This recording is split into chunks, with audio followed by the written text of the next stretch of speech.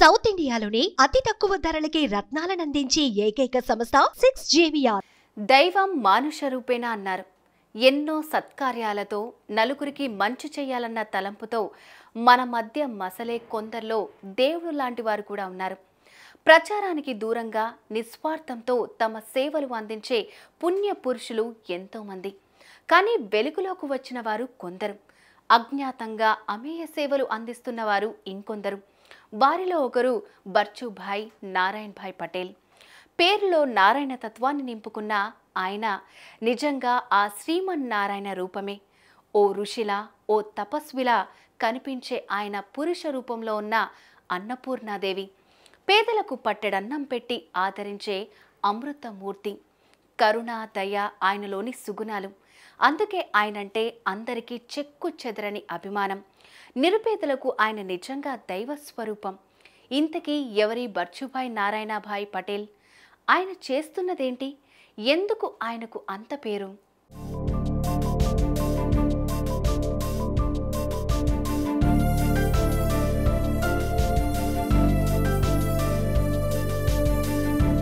గుజరాత్లోని మోర్బీ ప్రాంతంలో బర్చుబాయ్ గురించి తెలియని వారుండరు. తెలుసుకోవాలని తపన పడని వారుండరు.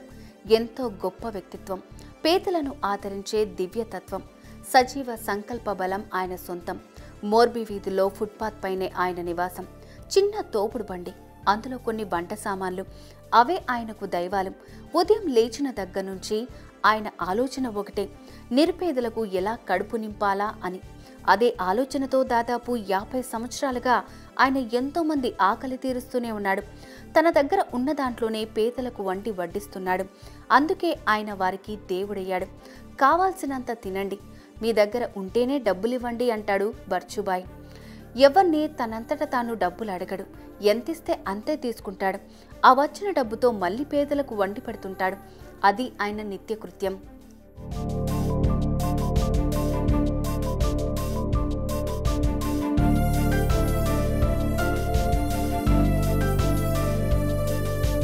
మోర్బీలో బర్చుబాయ్ దాబా అంటే అందరికీ బాగా తెలుసు. ప్రతిరోజు ఎంతోమంది అక్కడ భోజనం చేస్తుంటారు. మంచి రుచికరంగా వారికి వండి పెట్టడంలో ఉన్న తృప్తి అంతా ఇంత కాదంటారు బర్చుబాయ్. వాస్తవంగా ప్లేట్ భోజనం నలభై రూపాయలు. కానీ ఎవరు ఎంత ఇచ్చినా తీసుకుంటాడు. అసలు ఇవ్వకపోయినా ఏమీ అనుకోడు. కానీ ఎంతో కొంత చేతిలో పెట్టి వెళ్తూనే ఉంటారు. లాభాపేక్షతో వ్యాపారాలు నడిపేవారున్న ఈ రోజుల్లో అసలేమీ తీసుకోకుండా అన్నం పెట్టేవారు ఎంతమంది ఉంటారు అంటే బర్చుబాయ్ లాంటి వారు కొందరుంటారు అని చెప్పాల్సిందే. అక్కడ ఆయనే అన్నీ చూసుకుంటారు. తానే అన్ని పనులు చేసుకుంటాడు. ఎవరైనా సాయం చేస్తామంటూ వస్తే అస్సలు ఒప్పుకోడు. తానే దగ్గరుండి మరీ కొసరి కొసరి వడ్డిస్తాడు. అయితే తినేవారి ముఖాలను అస్సలు చూడడు. అందుకో కారణం కూడా ఉంది. డబ్బులు లేకుండా తింటున్నామనే భావన వారిలో కనిపించకూడదని. ఉదయం నుంచి సాయంత్రం నాలుగు గంటల వరకు ఆయనకు వడ్డించడమే సరిపోతుంది. ఆ తర్వాత కొద్దిసేపు రెస్ట్ ఆ తర్వాత మళ్ళీ రేపటి గురించి ఆలోచన.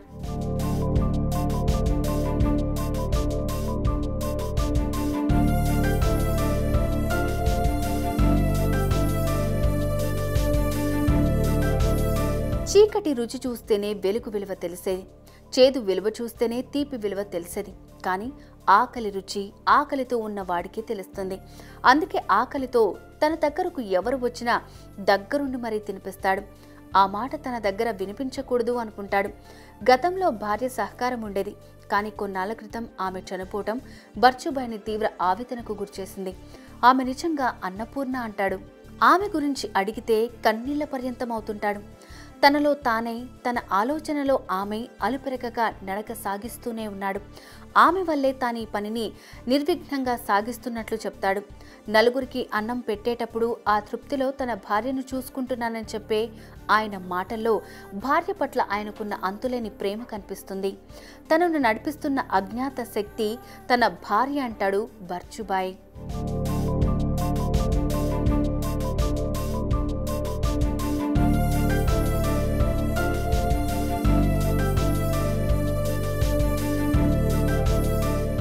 వయసు పైబడే కొద్దీ శక్తి తగ్గుతూ వస్తోంది.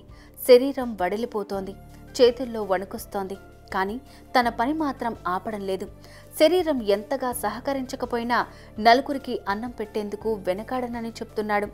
ఆయనకు ఎవరి అండా లేదు. ఎవరి తోడు లేదు. ఎవరి సహకారమూ లేదు. కానీ నిరంతరం సేవాభావం మాత్రం కొనసాగుతూనే ఉంది. ప్రభుత్వాలు ఎన్నో రకాలుగా ఎంతో మందికి సాయం చేస్తూనే ఉన్నాయి. వారి వారి సేవలను గుర్తించి పురస్కారాలను అందిస్తూనే ఉన్నాయి. కానీ ఇప్పటి వరకు గుజరాత్ ప్రభుత్వం చూపు కానీ కేంద్రం దృష్టి కానీ బచ్చుబాయ్ నారాయణన్ భాయ్ పటేల్ మీద పడకపోవటం విచిత్రమే.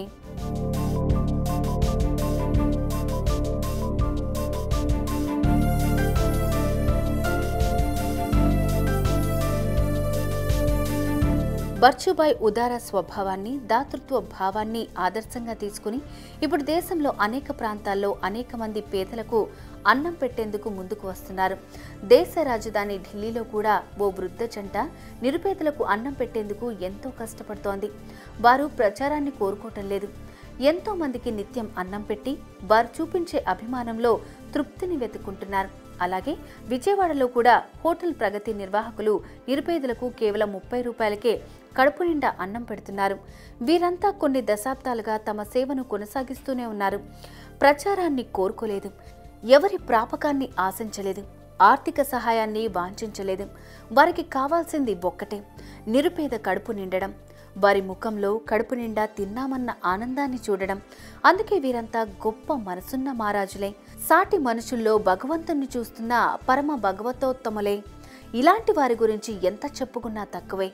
ఆపదల్లో ఆదుకున్న వారిని ఆకలితో ఉన్న వారికి అన్నం పెట్టిన వారిని ఎప్పటికీ మర్చిపోకూడదంటారు. నిజం. వారు ఎప్పటికీ దైవ స్వరూపులే ఎన్ని ప్రతికూల పరిస్థితులు ఏర్పడ్డా వారి గమనం ఆగటం లేదు. విశ్రాంతి అనేది వారి డిక్షనరీలోనే కనిపించడం లేదు. వారి గొప్పదనాన్ని మాటల్లో చెప్పలేం. వారి సేవలను అక్షరాలతో కొలవలేం. అందుకే ఎవరు గుర్తించినా గుర్తించకపోయినా వారి పైన మాత్రం ఆగటం లేదు. అన్నం పెట్టే సమాదరించే వారి తత్వం మారటం లేదు. అలాంటి వారికి దేశం జై కొట్టదు. వారిని ఎవరూ పట్టించుకోరు. వారి సేవలను పరిగణలోకి తీసుకోరు. కానీ కాలం వారిని ముందుకు నడిపిస్తూనే ఉంది. కావాల్సినంత బలాన్ని ఇస్తూనే ఉంది. మీరేమంటారు?